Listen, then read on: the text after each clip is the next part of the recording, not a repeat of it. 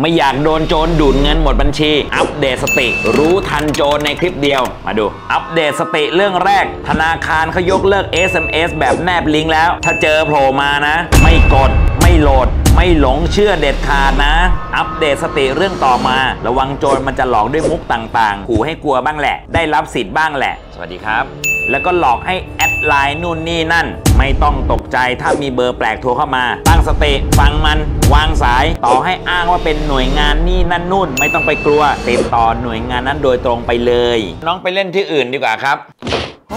อัปเดตสติเรื่องสุดท้าย โจรมันจะหลอกให้เราติดตั้งแอปควบคุมมือถือ สุดท้ายมันก็จะโอนเงินออกจากบัญชีเราหายเกลี้ยงเลย เพราะฉะนั้นมีลิงก์อะไรโผล่มา ไม่กด ไม่โหลดไม่หลงเชื่อเด็ดขาดนะ ที่สำคัญรหัสเข้าโมบายแบงกิ้งควรจะตั้งให้ต่างกับแอปอื่น ๆ นะ และที่สำคัญที่สุดอย่าบอกใครนะ อัปเดตสติป้องกันสตังระมัดระวังไม่ตกเป็นเหยื่อของมิจฉาชีพแน่นอน ด้วยความปรารถนาดีจากเคแบงนะจ๊ะ บอกแล้วไม่ฟังตังหายหมดในเรื่องของมึงแล้วนะ